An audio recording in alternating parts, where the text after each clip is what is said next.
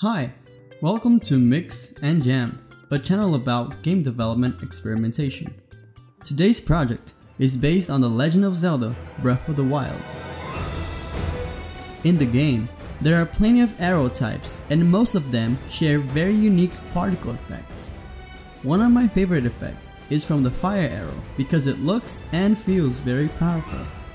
So for today's project, my goal is to try and build that effect using Unity.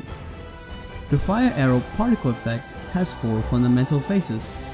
The charging phase, which is composed by some stretch lines, a spiral fire dust, the shining center, and a charging circle.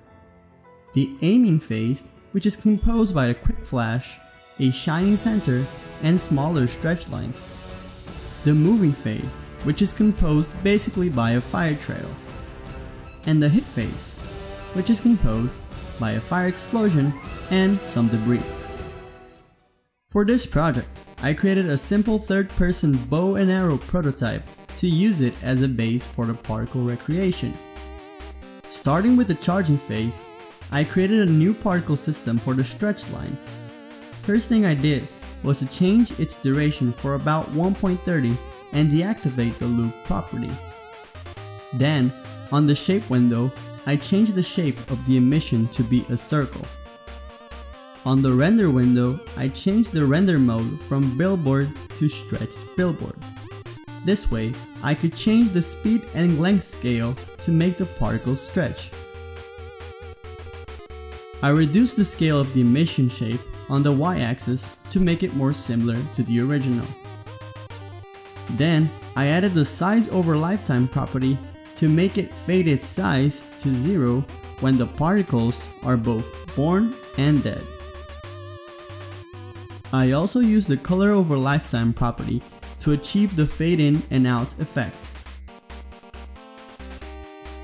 Next thing was to create a material that would have more of a fire look with a red and orange tint and apply it to the particle. Then I moved on to the spiral dust particle. Creating a new particle system, on the shape window, I changed the shape to a circle and made its start size random between 0.05 and 0.1. Then, I applied the same material from the last particle.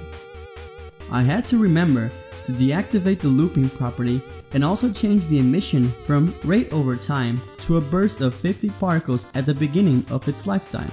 This way, it only spawns the particles in a single burst.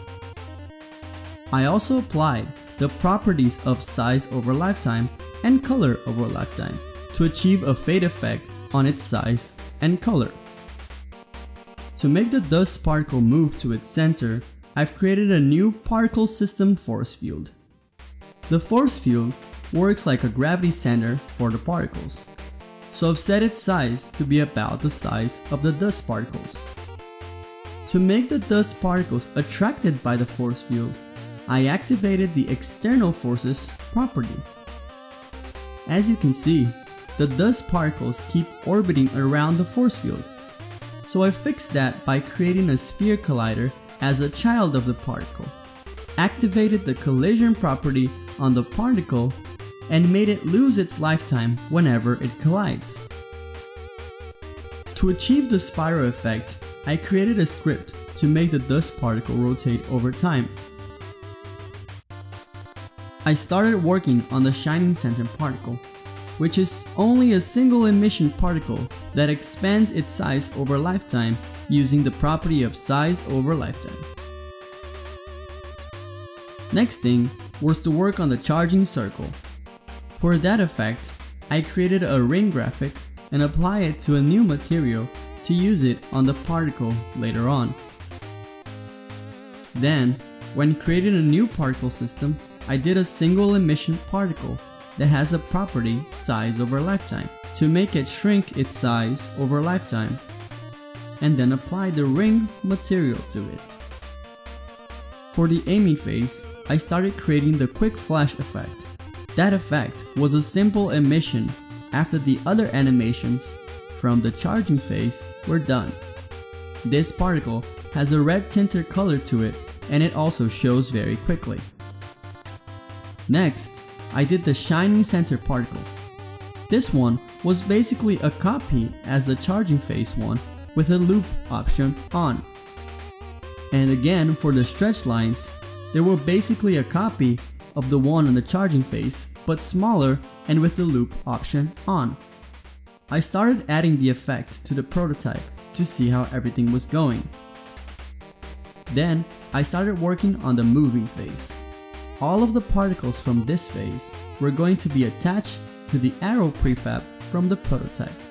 For the trail effect, I created a new particle system with a sphere shape and with a small radius, so that particles would instantiate only at the center.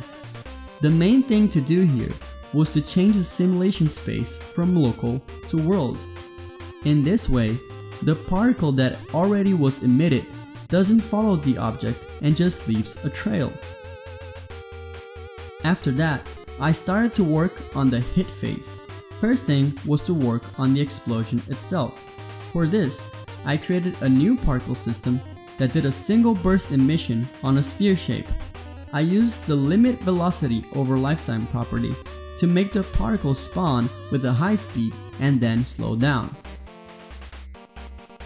Then I started working on the flying debris. I created a new particle system and changed its shape to a cone facing upwards. Then I changed its emission to be a burst of about 6 particles and added the gravity modifier property. I also added trails to the particle using the trail window and finally added the fire material to it. Now it was time to polish. So the first thing I did was to import the post-processing stack. With the post-processing stack, I was able to choose from many image effects. First thing I did was to add a bit of bloom to make the particle shine more like fire. Then, I downloaded this nature kit set from Scythian Cat from the asset store. I added the forest environment to my scene. Then, I went back to the post-processing stack and added a bit of depth of field to the camera. And then finally, I did some color correction. After a bit of small adjustments, this is how it turned out.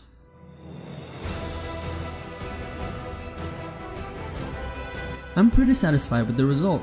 There is also a lot of room for experimentation if you want to download the project and recreate the other arrows in the game. As always, the link for the project's repository is on the description below. If you enjoyed this video, remember to like, share, and subscribe. I'll be bringing more content like this on the future. See you in the next one.